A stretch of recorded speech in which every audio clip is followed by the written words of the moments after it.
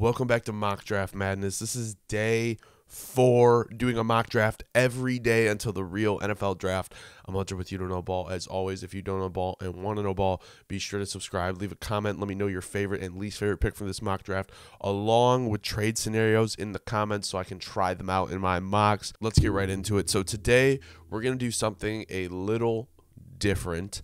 We are going to have the Bears trading back with the Commanders um, just because I've had Caleb Williams go number one overall to the Bears, even though um, Albert Breer basically said yesterday that uh, Caleb Williams is a lock to the Bears, and Rich Eisen essentially said the same thing. So we're just messing around with those scenarios here. I think Caleb Williams will end up being a Bear. But yeah, okay, so here we go. We're going to force that trade through, and now we got a pick swap. So, with number one on the board, the Washington Commanders are taking Caleb Williams. Now, this leaves the Bears in an interesting spot because my guess would be you're still taking a rookie quarterback. You could take the approach that you're keeping Justin, but with the way that things have gone and the words that have been said by Ryan Poles and everything like that, I don't know if you can bring Justin back because what if it's what if he just performs like well enough where you're like, yeah, maybe next year? Then you're in the same situation, and it's just like Justin, in my opinion, is not going to be dealing with that. So they're going to go Drake Maye number two, to the Chicago Bears.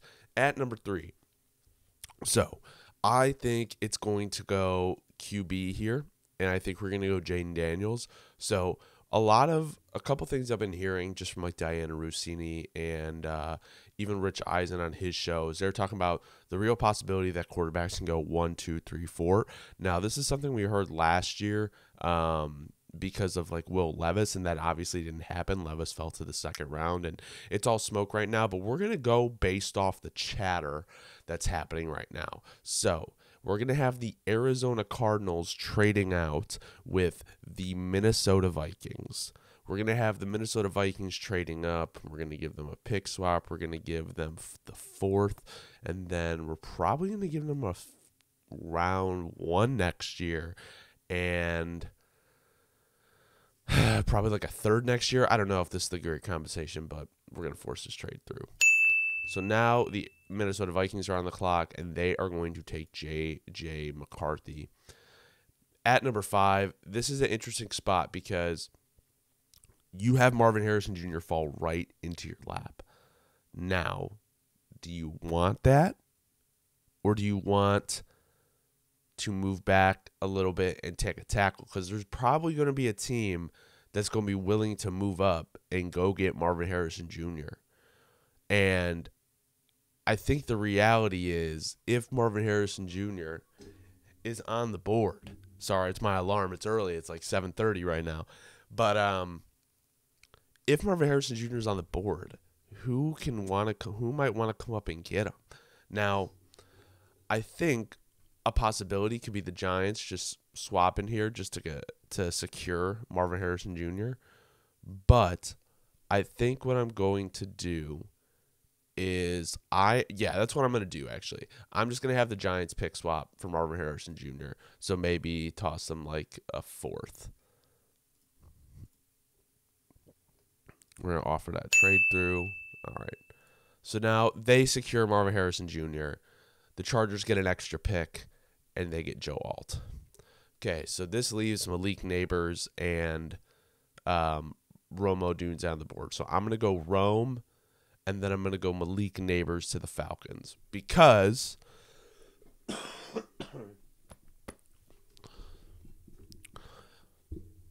the reason I do this is because I am getting more and more of the sense that the Bears are not going to be picking at number nine. Um, yesterday, they traded for Ryan Bates, who is basically a depth piece for the interior line. They traded a fifth round pick, and now they only have five uh, picks left in this draft. And if, now I will say if these receivers are not there, I have a feeling they're going to trade down. And I could also see if one of the quarterbacks or wide receivers is still there, they trade down anyway. So let's see where they could trade down to. They could trade down to 13, they could trade down to 20. Um, so I think maybe for value, we're going to have them trade down. So we're going to give them a fourth. We'll see. Like, I don't know if they're going to get that second round pick for that. They could get a third. So what we're going to do is we're going to force that trade through because I'm trying to think of who would come up right here. Hmm. Who would come up? I don't know who would come up. I really don't. I could I could see, you know what? Here's what we're going to do. We're going to go Cincinnati Bengals we're going to trade up and give us your third and we'll give you the Philly fourth. I think that's a fair trade. So, okay, now the Bears are picking at 18, which I think is a real possibility here. So, Bengals come on the board at 9. They're going to take Brock Bowers. At number 10, I think Olu Fashanu is. I don't know. Hold on. I think they're, they're definitely going tackle here. But do they want Taliese Fuaga or JC Latham? Because here's the thing is I heard some talk from the NFL Stock Exchange that they were hearing at the combine that JC Latham – could be projected as a guard in the NFL, which is surprising because that was what I originally thought Fuaga could possibly be. I'm not saying I wanted to move a guard, but that's what I feel like was talked about. And they were saying they were hearing about JC Latham, which is interesting. So the the Jets could really go anyone here. I don't know. Olu I think Fuaga has probably a higher floor than Olu, but Olu's ceiling is so high. So I'm going to go Olu Fashanu to the New York Jets. So this leaves the Arizona Cardinals in an interesting spot, but I think taking Byron Murphy off the board here is a real easy pick. At number 12, we went corner yesterday. I'm going to go Cooper DeJean. Um, just because pairing him next to Pat Surtain and his versatility is awesome. At number 13, we have the Las Vegas Raiders. Hmm, we could do a lot of things here. So, hmm. you could go corner. I've been having them go corner. I don't want to go them. I don't want to go O line here. You could give them an edge if Byron Murphy was there that wouldn't be the worst thing in the world. Let's see who has a trade. They want to trade up. I don't really know who they take because um, there's going to be guys on the board for them. So I think what I'm going to have them do is I'm going to give him Terrion Arnold. I really like Terrion Arnold to the Raiders. I just think that's such a great place for him. At number 14, Taliese Fuaga to the New Orleans Saints. Easiest pick in the draft outside of Caleb Williams, number one. At number 15, we have the Indianapolis Colts. And, you know, the Colts are really big on like RAS guys, on athletes, and that's what I think Wiggins is. But the more and more like I start to think about it, I'm going to do something a little bit crazy here. I know they're going to go corner, but I think with the way Brian Thomas Jr. performed at the combine, putting Brian Thomas Jr. next to Michael Pittman and Josh Downs is kind of nuts. And if you want to build an offense around um, Anthony Richardson, I think that might be the way to go. So now we're sitting here at an interesting spot. Any three of these guys could go here. Any three of these guys. Or you could, you don't really need to go corner. I think because of the interior issue, I've had him go here three of the four mock drafts, but I just think it makes so much sense. Like, that's such a position of need. I know you need pass rush too, but that interior line was not good last year. Um, I'm going to go Quinyon Mitchell to the Jacksonville Jaguars. So now we're at an interesting spot here because I think the Bears the Bears don't need corner. They have a good cornerback room, and they're going to re-sign uh, Jaylon Johnson. Uh, at least that would be my guess. Now, you could also try to move down again and get draft capital, which I think wouldn't be the worst thing in the world because the Bears now they have a lot of draft capital though. I'm not going to do that again. So, I think I'm going to go Jared Verse to the Bears, and this is why. The Bears typically target fast, long, and very athletic guys, and that's what Jared Verse is. If you look at his combine numbers, I think he had like 31 bench press reps. Um, kind of crazy. And to pair him with Montez Sweat and Gervon Dexter and whatever free agency addition they have will be nuts. At number 19, we have the Los Angeles Rams. Um, you know, there's a lot of areas you can go here. I think, you know, I don't necessarily love Nate Wiggins on the Rams. You could go one of the top two pass um, edge rushers here. Which that's what I'm gonna do. I'm gonna give him Dallas Turner, and I keep having Dallas Turner fall, and I know he is such like a freak athlete, but at the end of the day, I don't think any of these edge rushers are like blue chip type players, and I think they have a real possibility of falling down the board. So at number 20, we have the Pittsburgh Steelers. Now, I think this is where I'm going to have Nate Wiggins go because I think you want to, you know, you're adding really good speed and really good athleticism to your secondary. Yes, he's skinny. Could he put on 10, 15 pounds? Yes, he could. But that's something that can be added in the NFL. At number 20, we have the Miami Dolphins. So I'm going to do something a little crazy here. Ah, uh, no, I'm not to do it. I was not going to do that. I was to add Xavier Worthy, but I just feel like that's too much of a reach. It's too crazy. But could you imagine that speed with Tyreek Hill and Jaylen Waddle? Imagine if they had a quarterback that could get them the ball, deep ball, that deep ball. All right. So we have Ja'Tavion Sanders on the board. We have Graham Barton who can play anywhere on the interior. And we have Troy Fautanu who can do the same. So I've had them go there both times though. So I'm trying to look at a, another opportunity that we can do here. Let's you know what? Let's go Jer'Zhan Newton because they're gonna lose Christian Wilkins um, to free agency. So let's replace that interior rush right there. That's a good pick for them. Okay, so now we have a very very interesting spot here.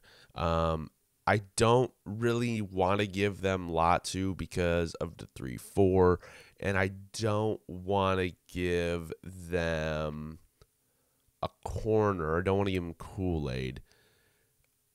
You could go interior here. I don't think that's the worst thing in the world, but I'm going to give them Payton Wilson out of NC State because their linebacker play last year was horrible. At number 23 to the Houston Texans who should we give them? We have a lot of options here. We could look at the wide receivers. I don't necessarily love Troy Franklin.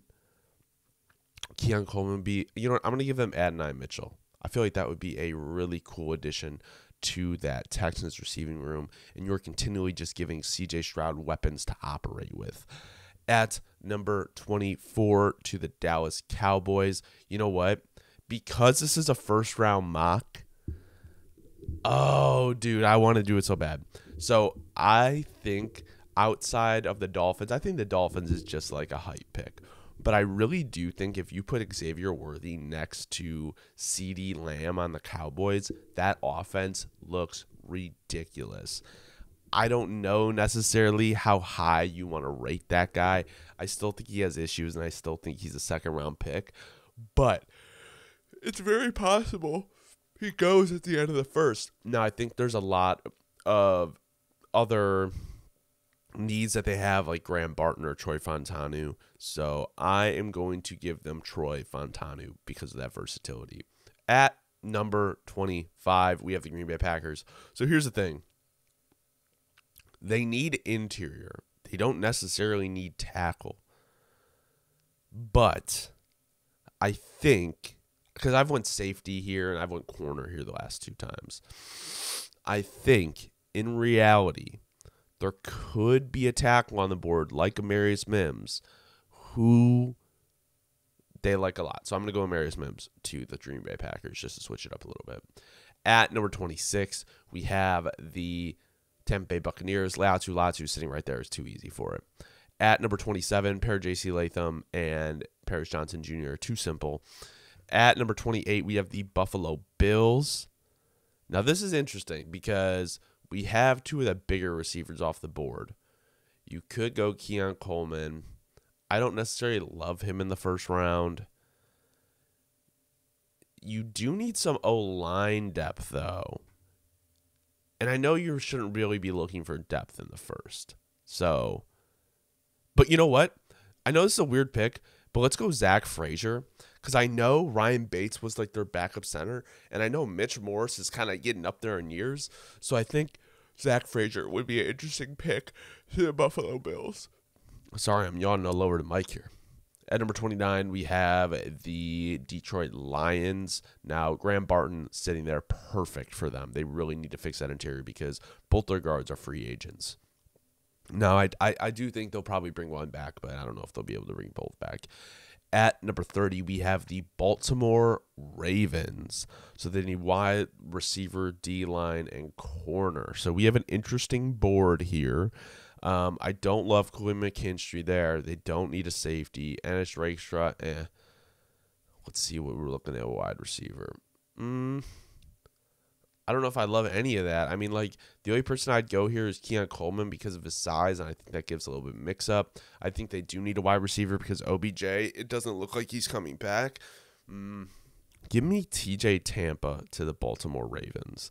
At number 31, we have the San Francisco 49ers. So Tyler Guyton, I went there yesterday. I just think that's such an easy pick. So I'm going to go Tyler Guyton. At number 32, now I'm going to do the reach of Xavier Worthy to the Kansas City Chiefs. Could you imagine if they're able to get Xavier Worthy in that offense and it starts to cook? It's going to be like Tyreek Hill 2.0 if the defenses don't stop it. But this has been Mock Draft Madness day four. Thank you guys so much for watching. If you don't know ball and want to know ball, be sure to subscribe, leave a like. Let me know in the comments your favorite and least favorite pick from this mock draft, as well as trade scenarios that you want to see me try out. I will be back tomorrow with another mock draft. Thank you guys so much for watching. Have a great rest of your day.